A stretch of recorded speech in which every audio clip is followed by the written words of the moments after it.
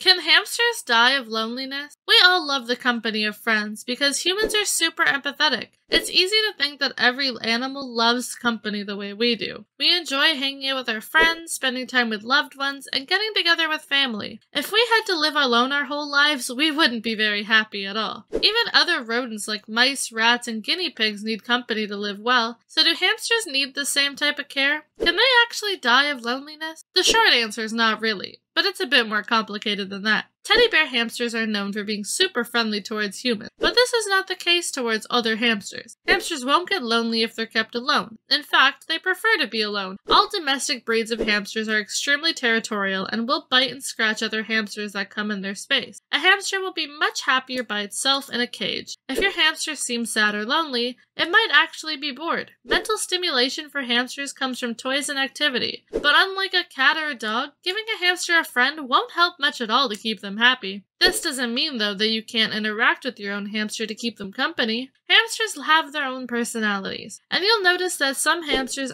you meet are friendlier than others. Many hamsters love to be held, petted, and even talked to. Syrian hamsters, especially, are confident and can bond with humans and enjoy your company. But some hamsters are less willing to be bonded with, and if you start early, most can learn to love you. So, can hamsters die of loneliness? Not really. But that's not to say they don't like certain kinds of company. Hamsters will fight other hamsters and shouldn't be kept together at all. Putting them in a cage with another hamster is a recipe for aggression and stress. They much prefer to be kept alone. They do, however, like being held by humans they trust, and they might get bored being in a cage day in and day out. It's a good idea to take time to bond with your hamster, making sure both you and your pet are comfortable around each other, so that you can give your pet just the right amount of socialization in the right way. Spend more time with your little friend.